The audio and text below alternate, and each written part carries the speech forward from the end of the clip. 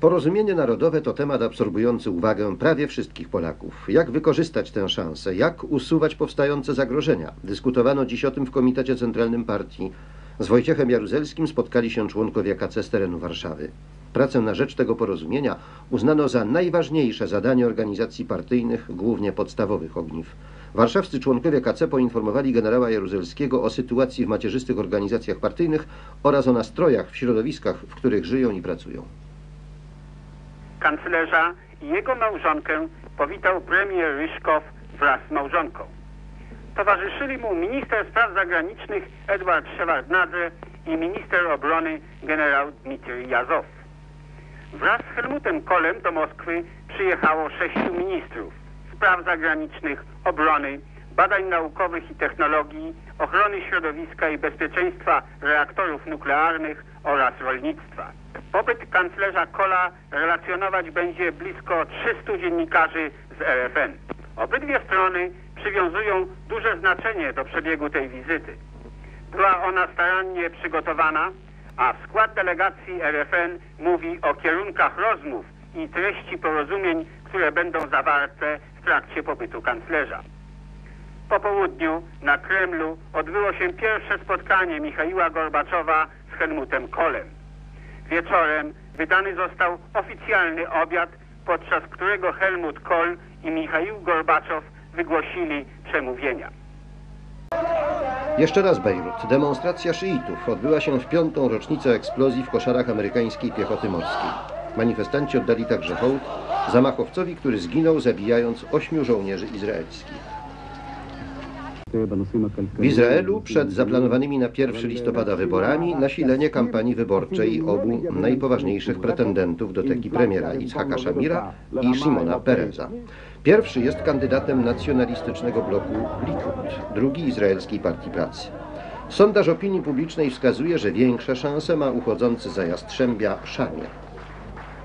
Samochód z ładunkiem wybuchowym eksplodował dziś rano w górniczym mieście Windbank w Republice Południowej Afryki. Zginęły co najmniej dwie osoby, a 29 jest rannych. Wybuch uszkodził także dom towarowy i pobliskie budynki mieszkalne. Była to dotychczas największa eksplozja z serii zanotowanej przed zapowiedzianymi na środę wyborami municypalnymi.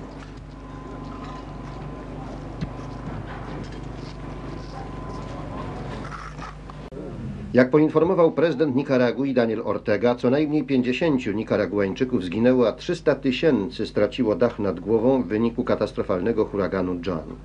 W innych krajach Ameryki Środkowej spowodował śmierć co najmniej 30 osób.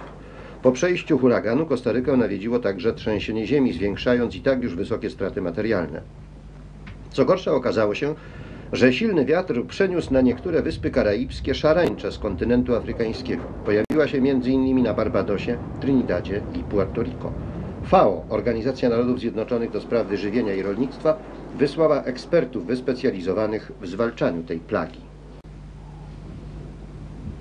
Jeden z wielorybów uwięzionych przez lody u północnego wybrzeża Alaski prawdopodobnie padł z wyczerpania. Chyba jednak uda się ocalić pozostałe dwa. Po zrobieniu 60 przerębli zmniejszono dystans dzielący wieloryby od pełnego morza do około 4 km. Ale w tej części Arktyki panuje taki mróz, że woda szybko zamarza. Jak oświadczyli eksperci amerykańscy, z pomocą wielorybom śpieszą dwa radzieckie lodołamacze znajdujące się w tamtym rejonie. Są jednak jeszcze daleko. Na radzieckim kosmodromie kolejne historyczne wydarzenie. Z hali montażowej na stanowisko startowe przewieziono wahadłowiec z rakietą nośną. Prace nad Buranem, bo tak nazywa się prom, trwały ponad 10 lat. Już w latach 70. Rosjanie przeprowadzili próby z makietą wahadłowca. Wówczas na orbitę wynosiła ją rakieta Proton. Dziś już prawdziwy prom kosmiczny wystartuje w swą pierwszą podróż z pomocą rakiety Energia. Kompleks Energia Buran w chwili startu będzie ważył 2400 ton. Na Bajkonurze trwają prace przygotowawcze.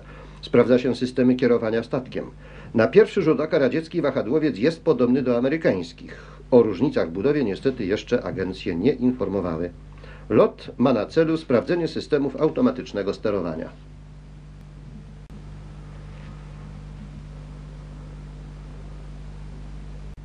Również amerykański prom kosmiczny Atlantis został przetransportowany do miejsca, gdzie zostanie połączony z rakietą nośną.